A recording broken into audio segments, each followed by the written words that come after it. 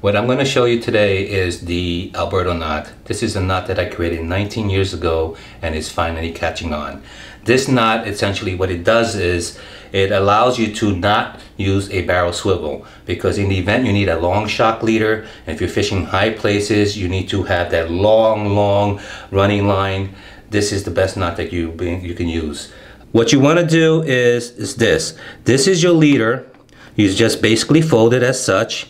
And if it is fresh braid, it's always a good idea to rub it a couple times. And what I'm doing here is basically taking out the coating. That coating is very, very slippery. Okay?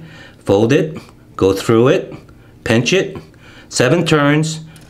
One, two, three, four, five, six, and seven.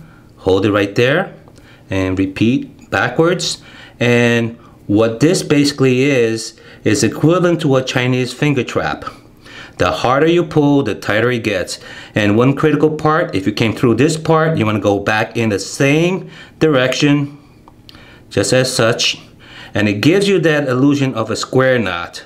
You know, the foundation of all knot is a square knot. It keeps it very, very strong. Notice what I'm doing. You force it, pinch it, and you're not done yet.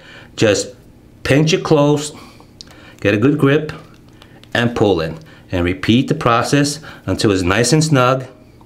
And how close you trim it? Close as trim it as close as possible. And the reason being is the more the fish pulls, the tighter it gets, it locks even tighter. And just as such. And and there you have it.